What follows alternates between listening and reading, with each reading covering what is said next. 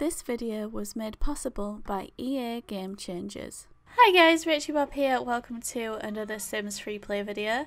In this video, I'm going to be telling you all about a new update for the Sims Freeplay, which is to do with support posts.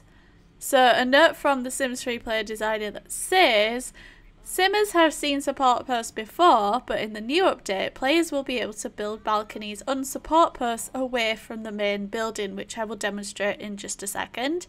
This feature will give players even more freedom and options around their home lot designs. Players will need to have completed the Lovey Dovey balcony quest to access this functionality. Let's quickly build this two story house and we'll add a lady in there and then we'll get some support posts. Just get rid of a few items. Okay we'll place these out here.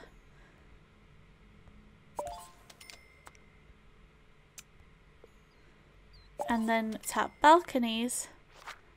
And we can actually add a balcony there that is not joined to the house. Therefore a complete freestanding balcony Wow, that's so weird. That's going to be so cool, actually. It's going to look so good. Like, if you can do something creative with that, which I'm sure you can, the possibilities are endless now. That is freestanding balconies, um, support post update. Let me know if you have any questions down, down in the comments. Thank you so much for watching, and I'll see you in the next video. Bye!